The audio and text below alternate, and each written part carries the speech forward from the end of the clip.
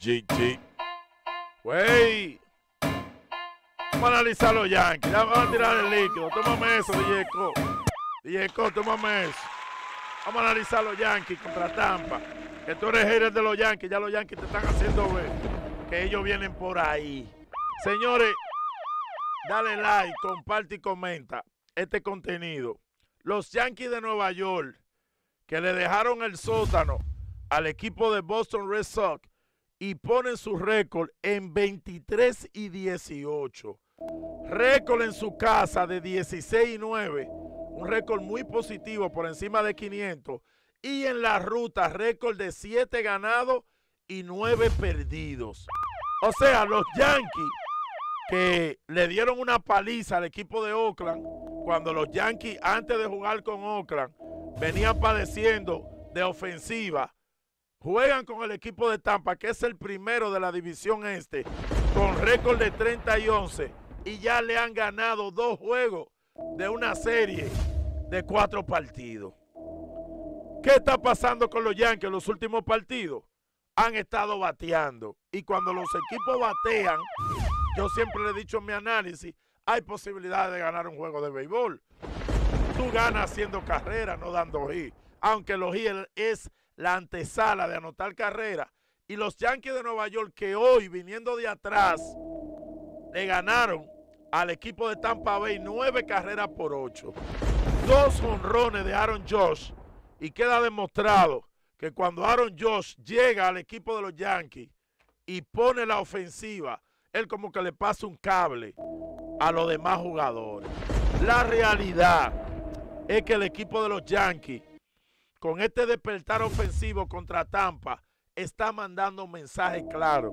¿Cuál es el mensaje que mandan los Yankees? Que nosotros venimos ahí. ¿Por qué? Porque tú estás jugando con el mejor de la división, que ya tiene 30 juegos, 30 juegos ganados y ya tú le has ganado dos juegos. O sea, si Tampa gana mañana, simplemente van a dividir la serie.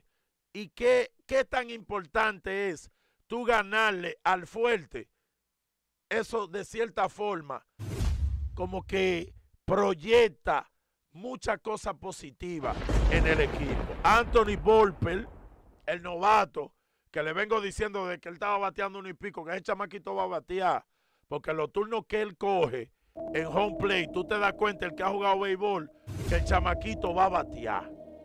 No sé si este año, no sé si, si es mañana, si es pasado, si es en el 24, pero para mí, Anthony Volpe va a batear. Tiene de dos intentos de robo de base, todavía no lo han atrapado. Hoy Cortés abrió, le hicieron seis carreras y el equipo pudo repuntar y ganar el juego. Otra cosa, el bullpen de los Yankees. Y uno de los principales lanzadores que tiene el equipo de los Yankees es el dominicano Wandy Peralta, que tiene una efectividad por debajo de dos. Que debiera de ser el cerrador del equipo, porque Clay Hall lamentablemente tiene una efectividad por encima de cuatro. Ron Marinacio sigue haciendo buen trabajo. Michael King, aunque en estos días le dieron un par de cables, la gente cree que un cerrador o un relevista, si pierde un juego o pierde la oportunidad de salvar un juego, ya se acabó ya no, ya no va a poder volver a hacer el trabajo. Y no es así.